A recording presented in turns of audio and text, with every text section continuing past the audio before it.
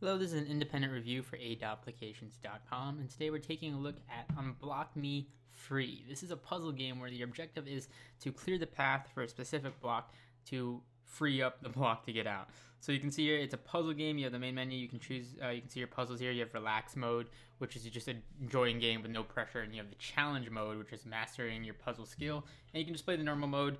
Again, you can select it right here um, depending on what you want. To, you can just select it either or which way you want to do it. So again, I'll go with relax mode in this case. Um, puzzle one, beginner here, you just simply slide the blocks and your objective is to get this red block free. Now to do that, you have to shift all these different blocks around in order to free up the block here. So you can see here I'm shifting these around and my objective again is to simply get the red block out.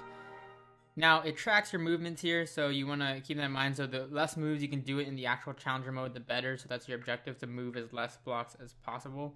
Um, so the least, the you know, the least amount of moves is a better score overall. But again, your main objective, of course, is to get the block out, uh, out of the uh, little, I guess, fenced-in wood here. So you just want to try and keep on moving blocks around, see what you need to move around, see what you need to get out sometimes you're going to make mistakes. So what you can do is you can actually reset in the bottom there. So you can choose to remove, uh, un- undo a move here so you can see that. Or you can just completely restart the whole puzzle back to the default position. You also have some hints available, so that's a cool thing. You can see all these other puzzles, and they have tons and tons of puzzles here. Going back to the main menu here, you have all these puzzle packs, beginner, intermediate, advanced, expert, and they have tons and tons of levels packed into these. So you can see all the expansions they have all these thousands and thousands and thousands of puzzles. Um, so keep that in mind. Now, getting down to pros and cons. First off, pros, it's a really fun, simple game. You just simply swipe out and you're trying to get the blocks free. It's really easy controls, really simple premise. Number two, it's completely free, so keep that in mind. You know, there's tons of puzzles that you can play just for free, over a couple hundreds of puzzles that you can play uh, completely free. Additionally, you have cool options. You have you can select themes, so you can adjust themes, the wooden themes. You can also uh, have support for Game Center, so it has a lot of cool options built into the game. That being said, the cons.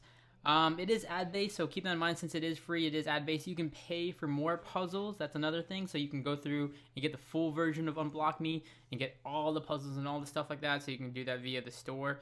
But keep in mind, you're uh, you already have tons and tons of puzzles, um, so that can be an con in itself. You may not even need to purchase the 99 cent game to get all you know. You have tons and tons of puzzles packed in, regardless. Um, additionally, it's not for everybody. I mean, it, it's a puzzle game, and it, it, does get frustrating, and it can be a little bit tedious and all of that. And last but not least, that hint system it kind of milks you in terms of you have three hints, but if you use them all, you have to get more through in-app purchases and stuff like that. So again, it, ha- it does have that in-app purchase method behind it. Nonetheless, this is Unblock Me free, a really fun puzzle game, simple, and tons of puzzles packed into it. Find it in the App Store today.